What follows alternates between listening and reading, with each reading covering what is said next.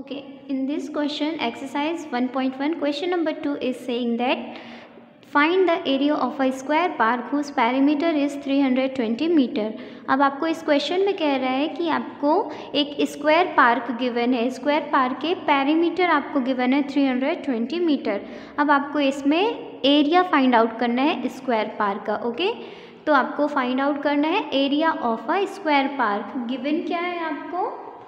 देखिए।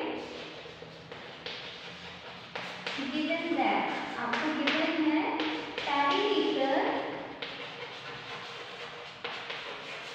of a square park okay perimeter of a square park क्या given है आपको? 320 मीटर 320 मीटर ओके अब हमें पता है कि perimeter of square park 320 metre है तो हम एरिया कैसे फाइंड आउट करेंगे सबसे पहले हम इसका फॉर्मूला लिखेंगे okay so perimeter of a square park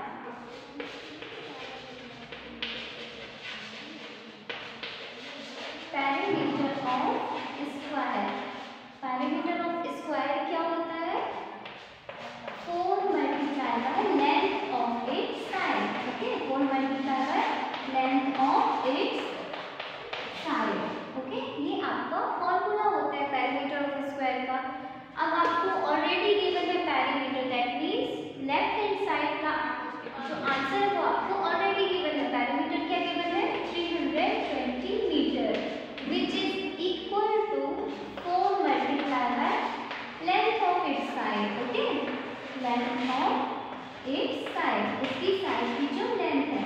तो आपको साइड की लेंथ तो पता नहीं है तो आप कैसे करोगे यहाँ पे? 320 metre is equal to 4 multiply by length of its side तो आप क्या करेंगे? 4 को आप इधर ट्रांसफ़र कर देंगे okay that means 320 divided by 4 okay आपका आंसर क्या आ जाएगा? आंसर आ जाएगा equal to length of eight side मतलब इसकी लेंथ आ जाएगी जब आप इसको सॉल्व करोगे तो आपका आंसर क्या आएगा फोर वन सा फोर सा thirty two okay so length is equal to eighty metre okay length आपका क्या आ गया? Eighty metre okay now, what you have to do? You have to find out the area. अब आपको क्या find out करना है? एरिया ये तो आपका सिर्फ़ क्या आया है? Length okay that means square part का लेंथ आपको गिवन आया है जो 80 मीटर ओके अब आपको पता है कि स्क्वायर के सारे साइड्स क्या होते हैं? इक्वल होते हैं. दैट मींस अब आप जब फाइंड आउट करोगे एरिया ऑफ़ स्क्वायर तो एरिया ऑफ़ स्क्वायर कैसे फाइंड आउट करोगे? Area of square part is equal to formula क्या है आपका? Side multiply by side okay formula is side multiply by side तो आपने साइड फाइंड आउट कर लिया है पेरीमीटर की हेल्प से. साइड क्या है?